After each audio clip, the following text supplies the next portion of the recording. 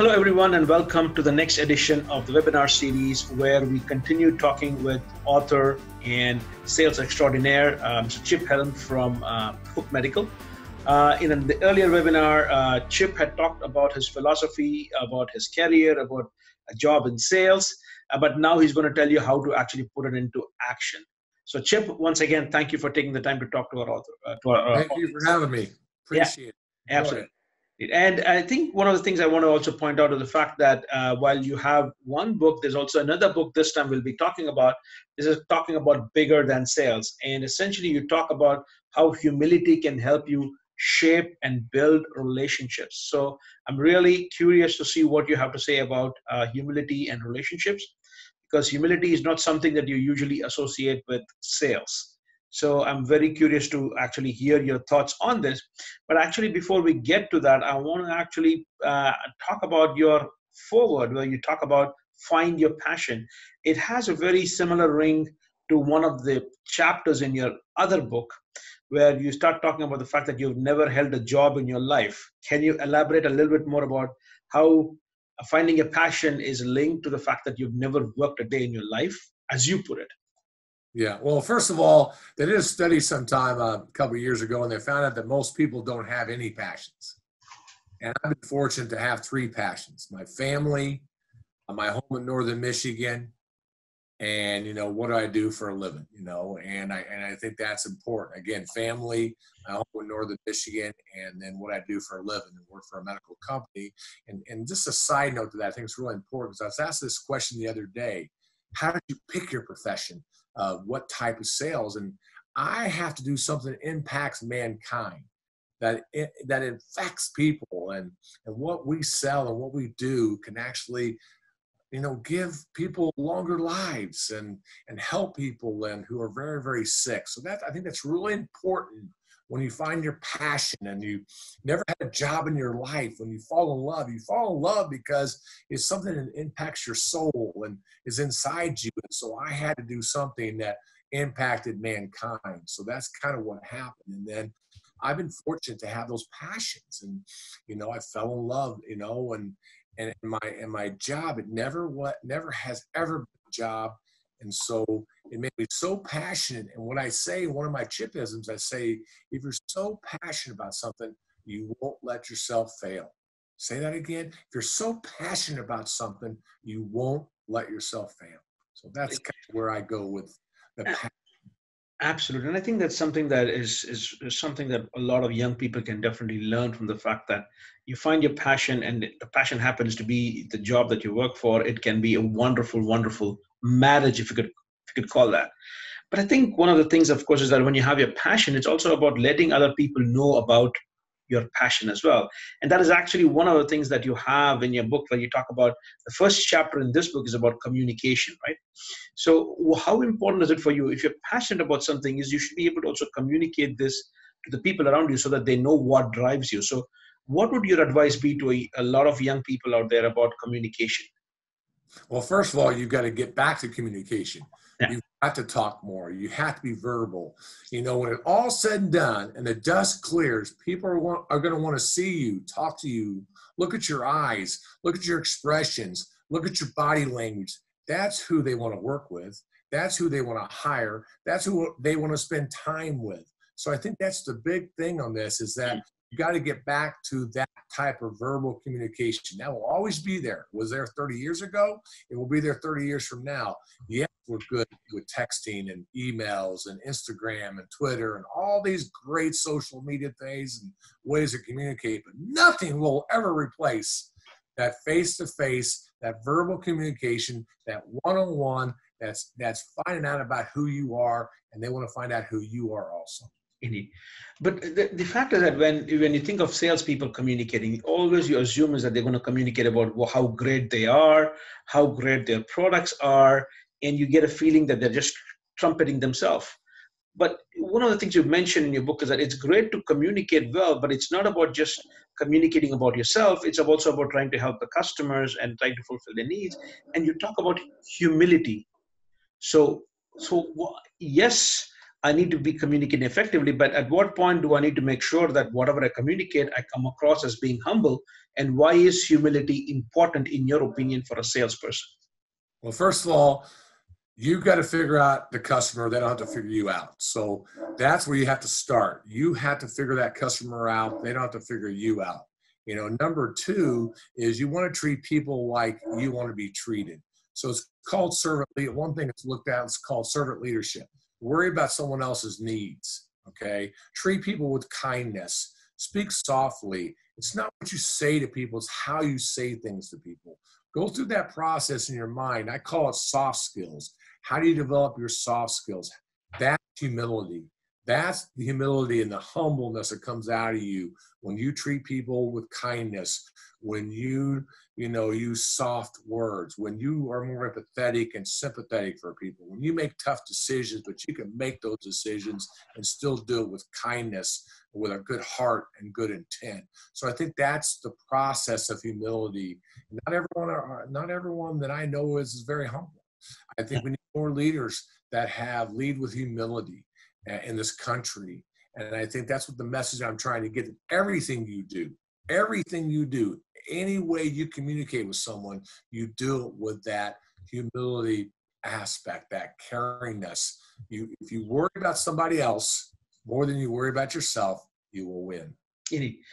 Which is actually tied into the next part. So you talk about with all the people you need to be humble, but isn't it important as well as that you need to use this humility when you're networking out there and how important do you think is networking for any individual i mean one of the things i like about this book and it's also in the title of the book is bigger than sales so everything that you're talking about is not just applicable to sales professionals but for any professional out there so it is about finding a passion it's about communicating well it's about being humble but all of this is not necessarily going to be helping you if you do not network well so essentially explain to the me and the audience why you think networking is important and can humility help you while you network?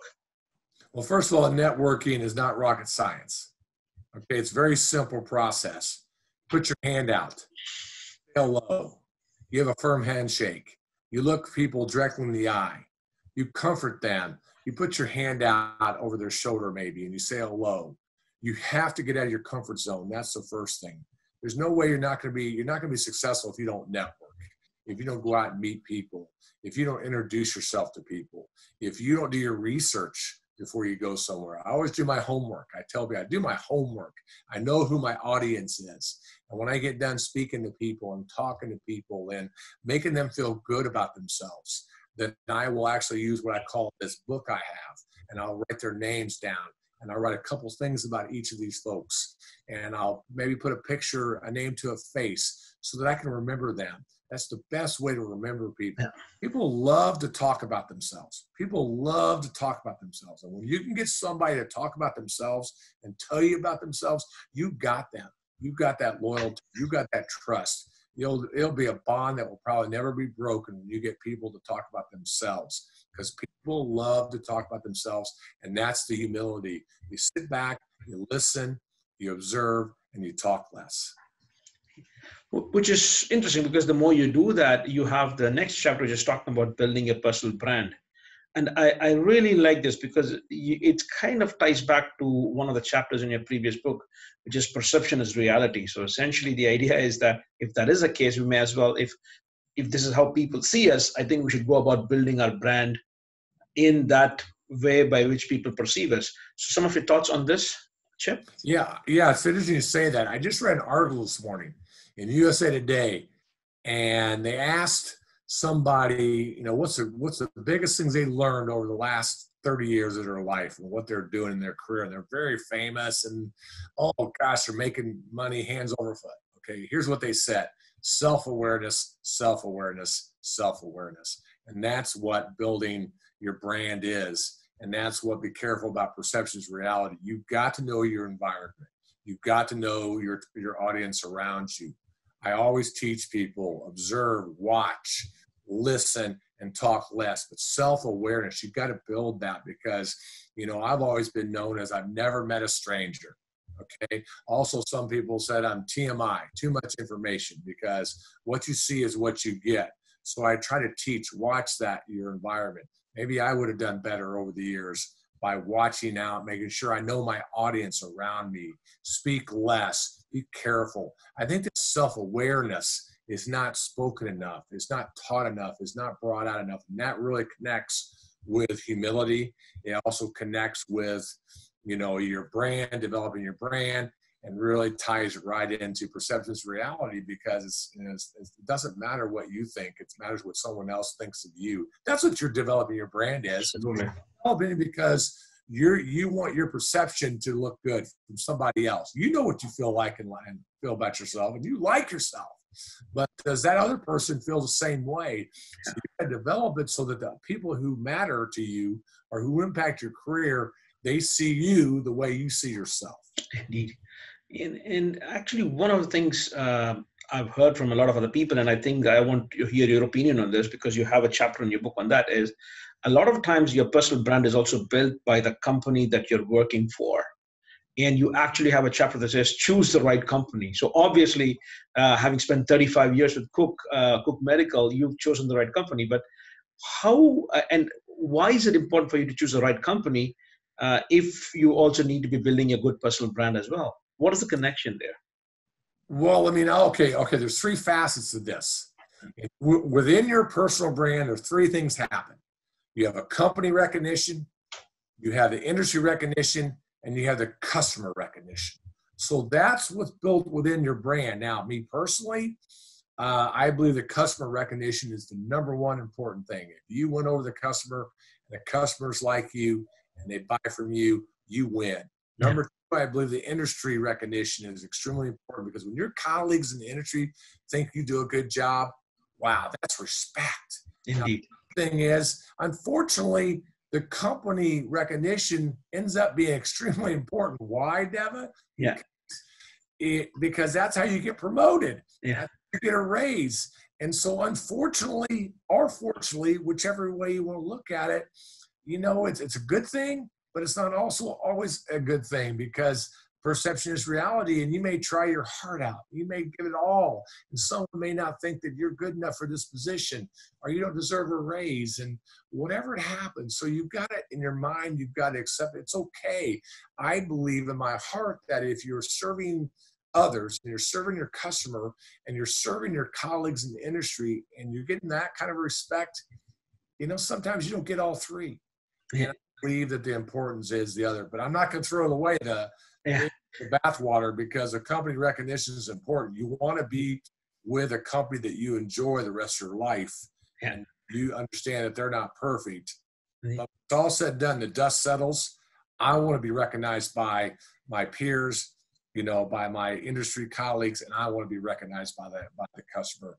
Any anytime it's fantastic because one of the things I'm going to actually make a notice in my copy of the book is that under the company, I'm going to put it within kind of inverted quotes because the company is the company you keep, be it with your own organization. But from what you just said, it's also keeping the right company with the right kind of customers, but also keeping company with the right kind of peers. So essentially, company is just not the company you work for; it's a company that you keep, and the company that is your reference list where you want to be well known. I think that's very very interesting because you said something which i think is fantastic so you talked about the fact that a lot of times choosing the company working with your own organization it can be a mixed bag so my point is that brings me to the la- one of the last chapters that you have in your book where you talk about have a good work life balance because there are times that you might question hey did we do the right thing spending so much time and effort into one organization and you might not get the kind of recognition that you want. So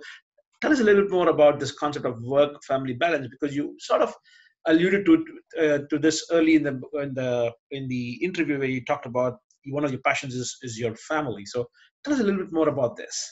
Well, believe me, Deva, it took me a long time to understand work life balance and I and I talk about it in the book about phases. There's phase one, two, three, and four. Phase one is when you're just start out and you're excited and you're trying to learn your craft, and you got to put 150% into this. You can't go 50 50. The day doesn't end at five o'clock on Friday. You go through that period of time, whether that's three years or four years, you become better at what you do. Then there's phase two, where maybe you go off and get an MBA and you take on other projects and you're starting to be able to bring your personal life back in a little bit, you know, where you can do other things. You go through phase three when you're hot stuff. You know your stuff. You can conduct business from a distance. Don't always have to be there in person. You know, then that's when you start crafting and, and coordinating your work life around your personal life, where you can do things with your children and as they're growing up and you spend more time with your family. Then I think it's either phase four phase five, I can't remember, where you're back where I'm at right now, where you're an empty nester. So you can kind of go back to phase one where you've got time now. Go in and you can invest in something different. But I think the key is the whole key, and I said this the other day, I was speaking at somewhere that I said the key to that phase one, when you're driving yourself crazy and you got 150% in there and that's all you're doing, you're 24 7, you're a workaholic, is you've got to have a good support team behind you. Whether or not it's a partner, a friend, a mother, father, a spouse, a significant other, when you have that kind of support who pushes you out the door and says, go, go, go do your thing, build your career, be successful. I will be here when you come back.